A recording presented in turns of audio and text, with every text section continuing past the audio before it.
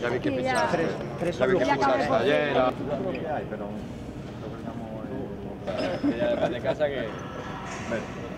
Eh, espero que sea la última hasta el final, espero.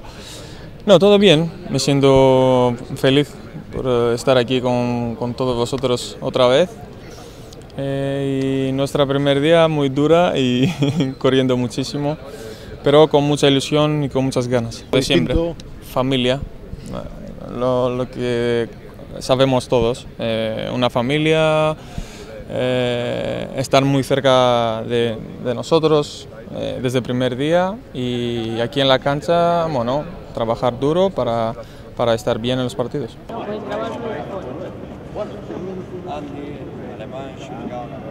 No habla español, Bien, pues el verano ha sido largo, hemos tenido tiempo de, de todo. Y nada, ahora pues con muchas ganas de trabajar, pues hay gente que, que es nueva y bueno, los, los, que no somos nuevos intentaremos pues que se adapten rápidamente aquí.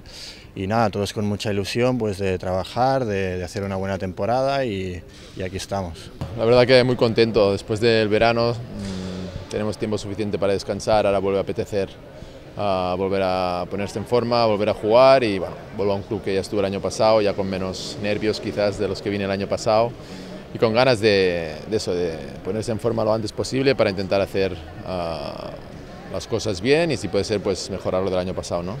Papa mayor. Un poco más.